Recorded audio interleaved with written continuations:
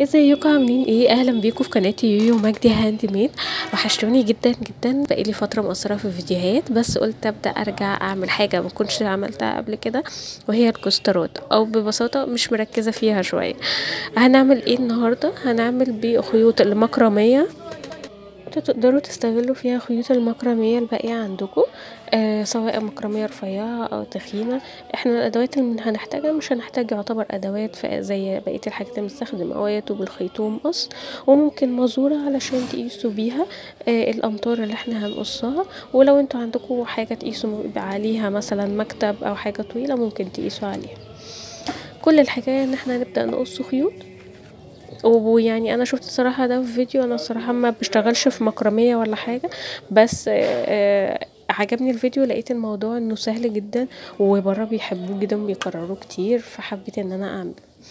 كل اللي هنعمله الأول هنحط الإساس بتاعنا الإساس بتاعنا هنخليه بما إن هنعمل كوستر صغير هنخليه اتنين متر.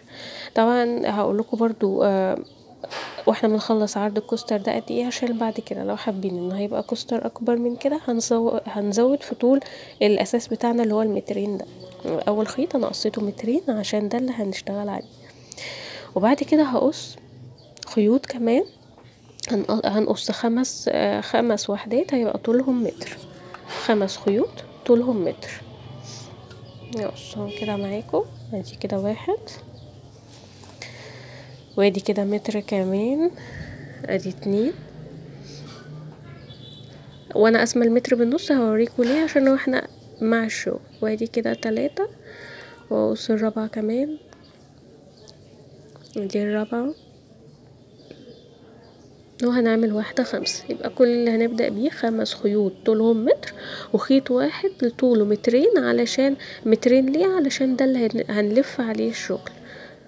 كده نراجع مع بعض. أدي خمسة. تمام؟ هحاول يعني إن أنا أوصلها لكم بصورة بسيطة. إن شاء الله إن شاء الله توصل لكم تلاقوها سهلة. آه وعايزة أقول لكم إن أنا أول مرة أصلا أجربها معاكم كده. يعني أنا ما جربتش إن أنا أعمل واحد قبل الفيديو ولا أي حاجة. أنا شفت الطريقة وقررت إن أنا أجرب على طول ولقيت الدنيا مشيت معايا وقمت مكملة تصوير الفيديو وطلعت النتيجة زي ما هوريها لكم في الآخر. أتمنى يا رب إن هي تعجبكم أو زي ما شفتوها على أول الفيديو. هنحط الخيط اللي هو مترين. اللي زي ما قلت لكم ده أساس الشغل بتاعي. وأجيب الخيط اللي إحنا قايلين إن هو متر أسماه بالنص بالشكل ده. وأدخله تحت الخيط المترين. تمام؟ شايفين أهو؟ الخيط الطويل قدامي فوق والقصير اللي هو متر تحت. وهدخل الطرفين من الجزء ده كأني بعمل عقدة. بالظبط. وأحاول بقى إيه أضيقها شوية. وهنضايق أكتر من كده كمان لما نثبت الخيوط. نكرر مع بعض تاني في الخ... في الأربع خيوط الباقيين. نجيب أقسمها بالنص. وأدخل كده الحلقة دي الناحية دي. والطرف معايا في إيدي الناحية ناحيتي وناحية الكاميرا أهو. هجيب الطرف من فوق أدخله من فوق في الدايرة دي علشان إن أنا أعمل عقدة. بالشكل ده. وابدأ اضيق العقدة واحدة واحدة وأخليها جنب الأولانية. نكرر دايما كل حاجة قدامكم لأن هو الموضوع بس يعني إحنا لو ظبطنا البداية وظبطوا بعد كده طريقة العقد اللي إحنا هنعملها خلاص الموضوع سهل. أدي كده تالت خيط أدخله من تحت وأدخل الطرف من الحلقة واشد عشان أعمل عقدة. كده يبقى دي تالت واحدة.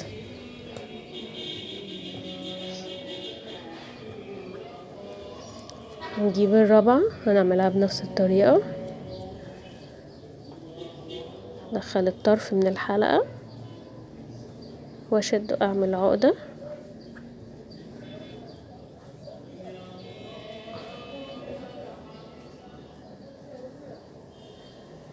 وكده يبقى باقي معايا الخيط الخامس. هقسم برضو نصين وأجيبه. وأدخل الطرف ويبقى كده ظبطنا خلاص أو ثبتنا أول خمس خيوط.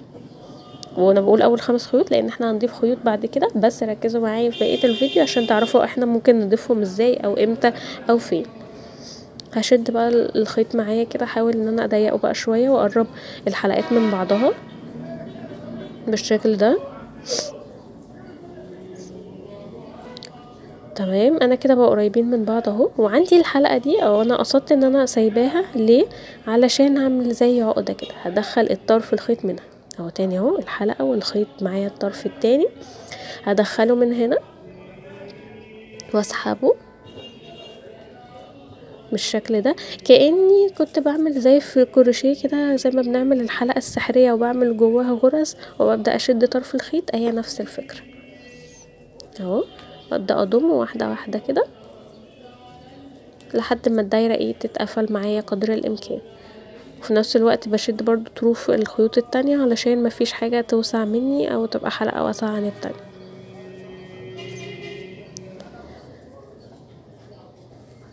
أنا كده ضيقتها أهو على قد ما أقدر.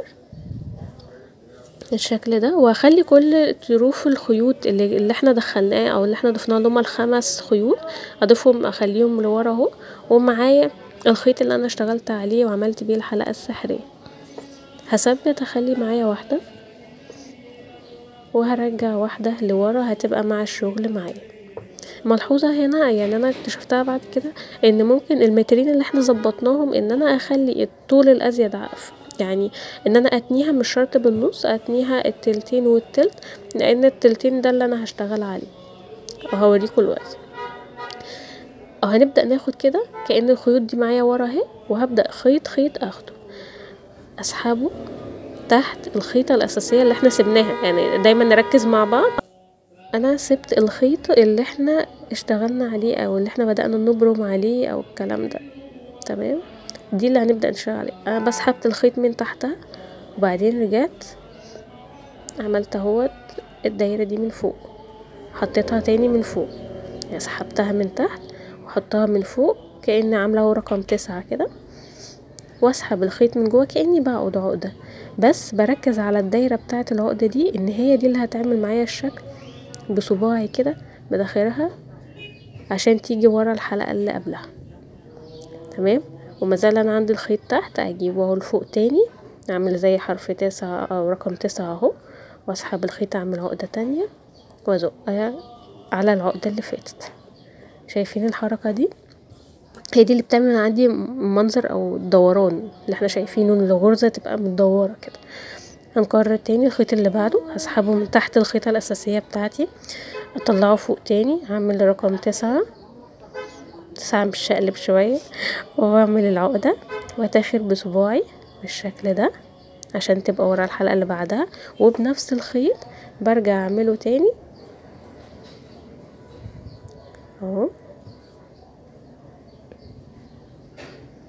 بعمل غرزة تانية. يبقى أنا كل خيط بستخدمه هي هتلاحظوا ان هي بتبقى برضو العقدة نازلة لتحت فكأني جايباها من تحت.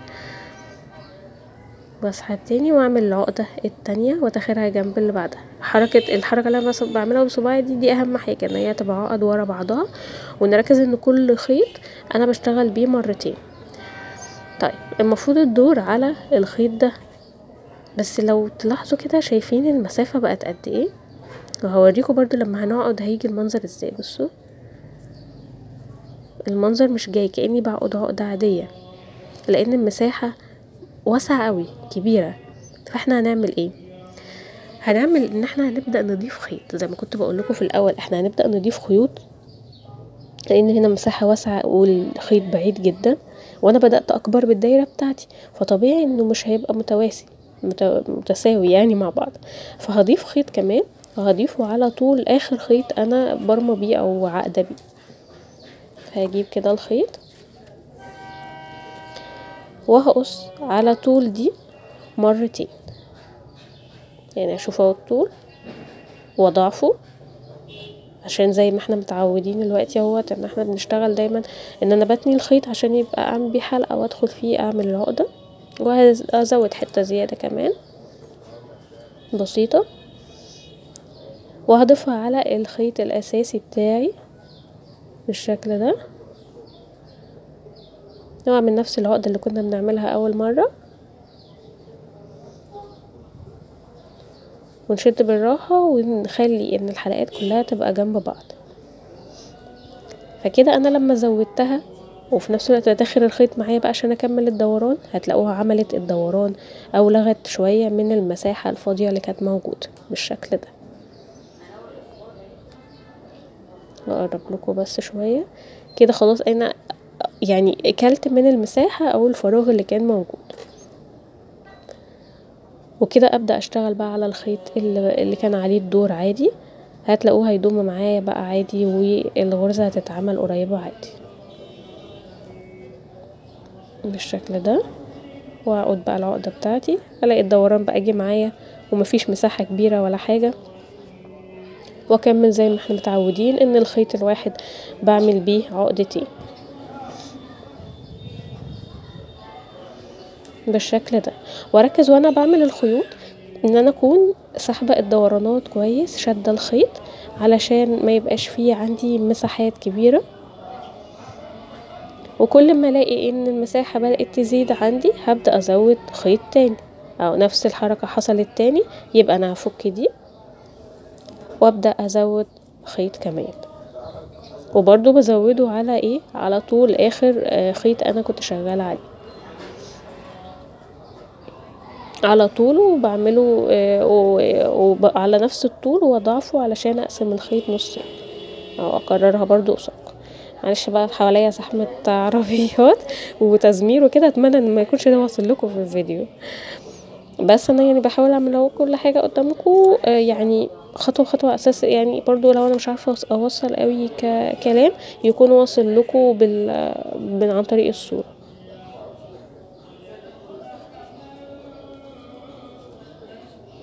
بالشكل ده كده.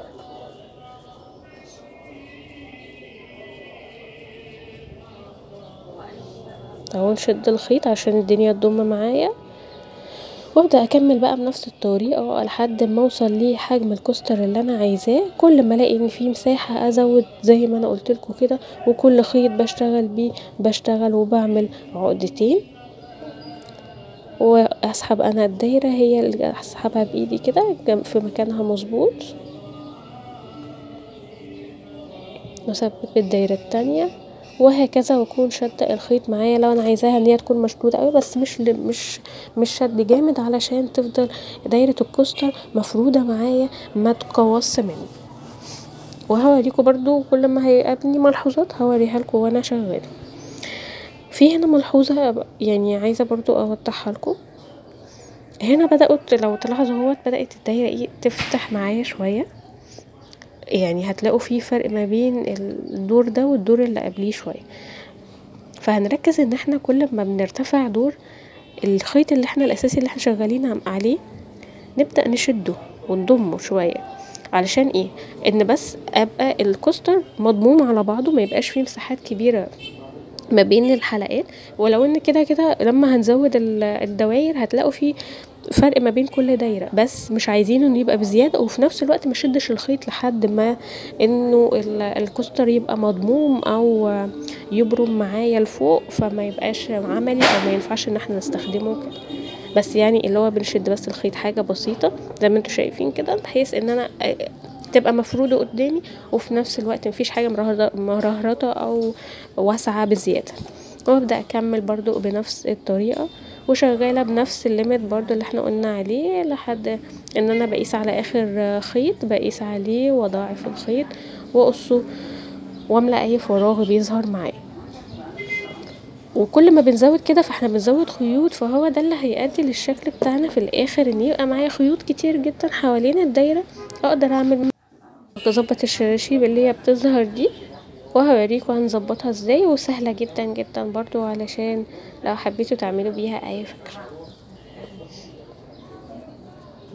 وشغالين بنفس الطريقة. نكمل على طول. أعتقد يعني بالتكرار كده أعتقد الموضوع بقى بس يعني إلى حد كبير سهل وباين معاكم. وزي ما بقول لكم والله دي أول مرة أعملها أول مرة حرفيا وأنا عملتها وصورتها على طول. يعني أنتوا هتشوفوها بكل شكلها بكلها عيوبها لو فيها ظاهر العيوب وكل حاجة. هبدأ أزود بقى لحد ما أوصل للحجم اللي أنا عايزاه. وصلت كده للليميت اللي أنا عايزاه أو الحجم اللي أنا عايزاه.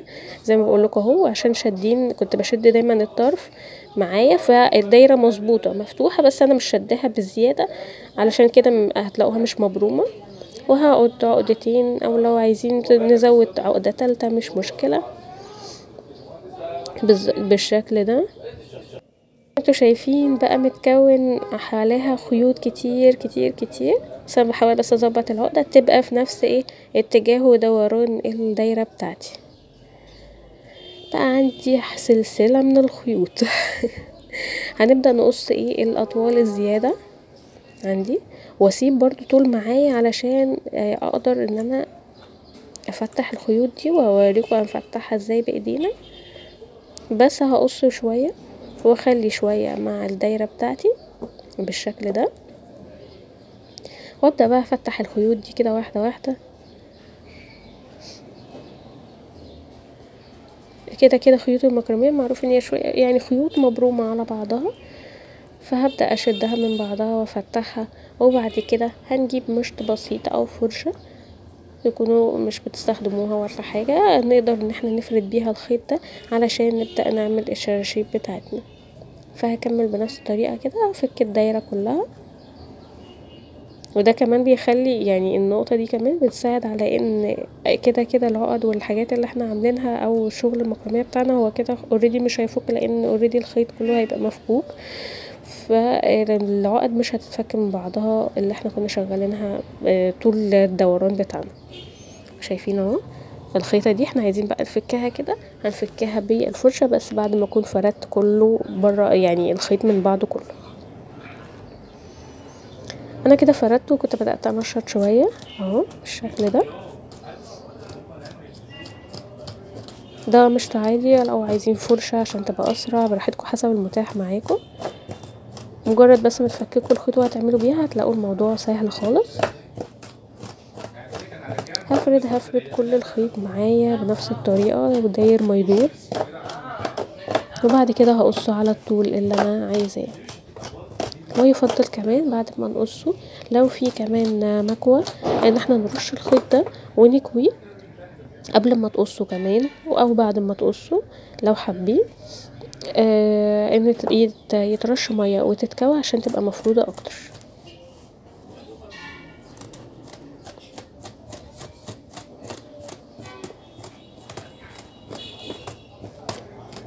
وهفضل شغالة كده لحد ما اتأكد إن الخيط معايا كله.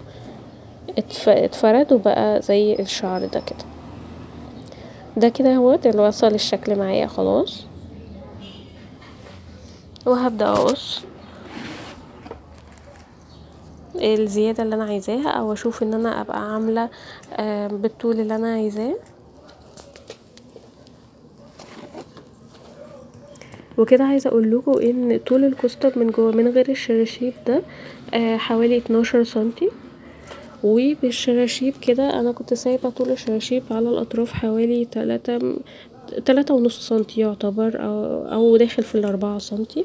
يعني بنتكلم إنه عرض الكوستر كامل بال من بالشراشيب من بره لحد جوه حوالي كان عشرين سنتي. وهنظبط بس الأطراف معانا علشان تبقى خلاص جاهزة كده للاستخدام. آه وزي ما بقول لكم أنا بحب شوية إن هي تبقى هايشة. لو عايزين ان الشكل يكون آه مستقيم شوية أو آه هادي مش هايش ده الشكل من ورا ومن قدام.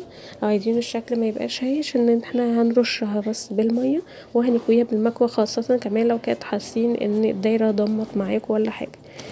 وده كده الشكل النهائي. أعتقد الطريقة سهلة قوي. الصراحة أنا لقيتها موضوع واضح فقلت إن أنا أجربه ولقيت شكلها كويس جدا. وزي ما قلت لكم بقى هي ملحوظة إن الخيط الأولاني الأساس اللي إحنا بنشتغل عليه أنتوا لو عايزين إنه يبقى الموضوع أطول من كده إحنا كان المتر يعني الأمتار أو الخمسة متر اللي إحنا كنا قصينهم فرداني عشان نزود عليهم دول عملوا معانا الكوستر ده وكان باقي إن إحنا نزود كمان. آه لكن بالنسبة للخيط اللي هو طوله مترين كان يعتبر يدوب. فلو عايزين إن الكوستر يكون أكبر من كده هنزود طبعا في الأطوال وخاصة الخيط اللي هو مترين ده هنزوده في الطول. كده الشكل النهائي معايا وزي ما أنتوا شايفين هي فيها طريان ما ضمتش لجوه ولا حاجة وفي نفس الوقت مفرودة معايا. اتمنى إنها تكون عجبتكم وأتمنى إن أنا أكون يعني قدرت اوصلها لكم بطريقة بسيطة عشان في ناس بتستتقل شوية شغل المكرمية ده. وما تنسوش الاشتراك في القناة وتفعيل الجرس ولايك للفيديو لو عجبكم عشان يوصلكم كل الفيديوهات الجديدة إن شاء الله. وهتلاقوا فيديوهات كتير لأشكال وشنط وحاجات كروشيه كتير واللي بيحبوا الخرز هيلاقوا كمان حاجات يحبوها. نورتوني